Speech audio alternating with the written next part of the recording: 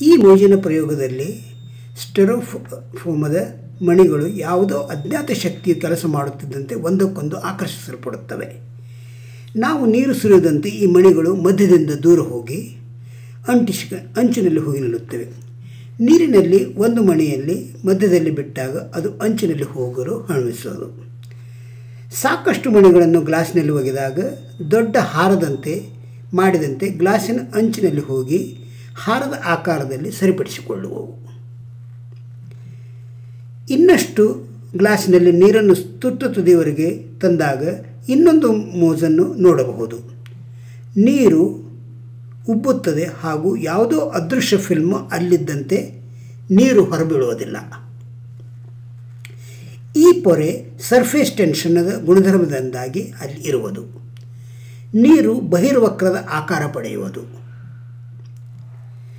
ಈಗ ಮಾತ್ರ ಅಂಚಿನಲ್ಲಿ ಮಣಿಗಳು ಮಧ್ಯದಲ್ಲಿ ಸೇಕರಿಸಿಕೊಳ್ಳುವವು ಇನ್ನಷ್ಟು ಮಣಿಗಳನ್ನು ಸೇರಿಸಿದಾಗ ಅವು ಒಂದಕ್ಕೊಂದು ಹತ್ತಿಕೊಂಡು ಗುಂಪಾಗುವವು. ಅಂಚಿನಲ್ಲಿಟ್ಟರೂ ಅವು ಮಧ್ಯದಲ್ಲಿ ಬಂದು ಕೂಡುವವು.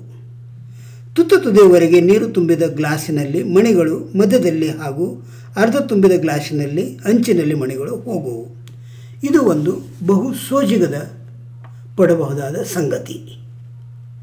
ಇದಕ್ಕೆ ಮೂರು ಕಾರಣಗಳಿವೆ.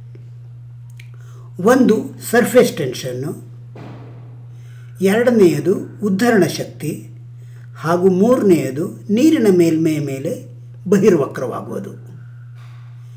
ಈಗ ಇವುಗಳನ್ನು ಅಂಚಿನಲ್ಲಿ ಸರಿಸಿ ಸುಧಾ ನೋಡಬಹುದು. ಅವು ಅಂಚಿಗೆ ಹೋಗಿ ಕೂಡುತ್ತವೆ. ಇನ್ನಷ್ಟು ನೀರು ಹಾಕಿ ಅವು ಮತ್ತೆ ಮಧ್ಯದಲ್ಲಿ ಬಂದು ಕೂಡುವವು.